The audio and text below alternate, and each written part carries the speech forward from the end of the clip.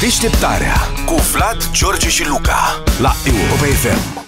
Eu n-am mai văzut poliție pe stradă. Ai altceva. Uite, stai puțin. Apropo de asta, există o invenție minunată care se aplică în toată lumea civilizată de zeci de ani numai în România, nu? Care se cheamă radare fixe, asta pentru viteză. Corect. Și există și radare Serios?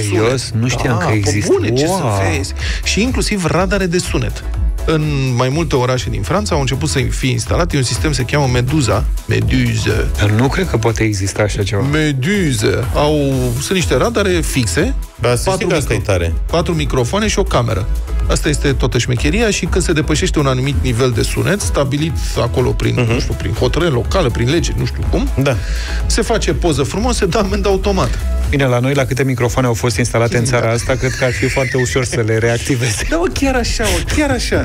Deci toți domnii care au microfoane puse peste... Nu vreți, frate, să faceți și un serviciu comunității, nu numai serviciului? Da, trebuie să dau doar on. Hai, mutați, da, mutați microfoanele alea puțin mai cred că acana. majoritatea cred că spornită, adică eu cred că există și o harta decibelilor din București. Da, exact, eu cred că da. și la șoaptă reacționează, cred. Foarte bună asta. Deci, asta este toată, toată treaba. Limita maximă de zgomot pe timp de noapte în București ar urma să fie 60 de decibeli. Depinde de cartier. Potrivit, În unele e... potrivit acestui referat, legislația europeană, notează publicația G4 Media, care scrie despre asta, legislația europeană prevede pentru autovehicule o limită de zgomot de 74 de decibeli și, mă rog, asta dacă ar fi votat, uh, circulația autovehiculelor care fac mai mult zgomot ar fi permisă doar în intervalul 8 10, 8 dimineața, 10 seara. Și pentru depășirea nivelului de zgomot, în intervalul 95-100 de decibeli, amenda convențională va fi între 1500 și 2500 de lei și pentru uh, depășire peste 100, amendă între 4 și 5000 de lei.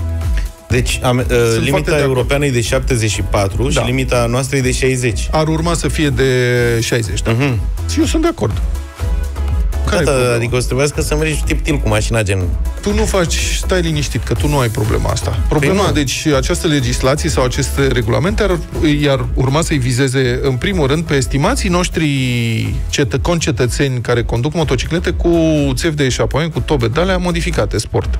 Și mașinile mai au o parte. Și unele, dar mașinile mai puțin. Da. Mai sunt mașini sport, într-adevăr. Am văzut toată un Lamborghini, o mașină de aia călcată de uriaș, știi? care a trecut pe un bulevard frățioare, am crezut că sparge geamurile la propriu când a forșat-o. Dar alea sunt puține. În schimb, motociclete de acest gen, din păcate, sunt multe și este o imensă lipsă de respect față de um, față de toată Contribuabil. Lumea, de, față de toată lumea, Da. față de toată lumea, literalmente. Adică Adevărat. am tot respectul, eu oferesc motocicliști în, în trafic, sunt atent la ei, am prieteni motocicliști, sunt, am, încă o dată... Asta cu sunt ferești absolut motocicliști, eu, nu, nu e o laudă, că oricum nu trebuie să-i lovești. nu, îi feresc în sensul că dacă îi văd în retrovizoare, mă dau deoparte, le A, îi fac lași loc să să dea și eu, treacă, sunt atent la manevrele pe care le fac, îi urmăresc în retrovizoare, adică, na, Mhm. mă salut cu ei, salut, salut. Sunt oamenii, sunt super ok. Dar nu îi înțeleg pe cei care își modifică tobele, asta e făcută ca să-i deranjezi Special, pe, da. pe ceilalți. Asta este... E bine, ei nu o fac ca să-i deranjeze pe ceilalți, o fac pentru că le place fiorul ăla pe care ți-l dă huruitul motorului, știi? Păi ea poți să facă asta în propriul lor gala- garaj, Da. izolat fonic, își închid ușile, da. pornesc ventilatoarele și după aia fac acolo cât zgomot vor în interior și simt zgomotul. Și după aia ies pe stradă frumos, fără zgomot. Zgomot, zgomot, dar incintă, practic. Da, sper să treacă, sper din toată inima să treacă acest proiect de hotărâre. Deșteptarea cu Vlad, George și Luca la Europa FM.